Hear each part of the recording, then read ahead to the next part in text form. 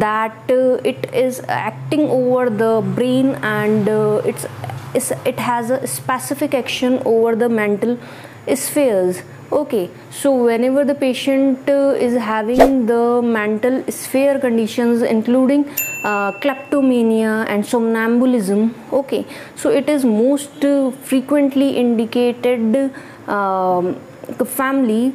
So whenever you find out these two important mental features somnambulism and the kleptomania the medicines from the compositae family are very much important. Okay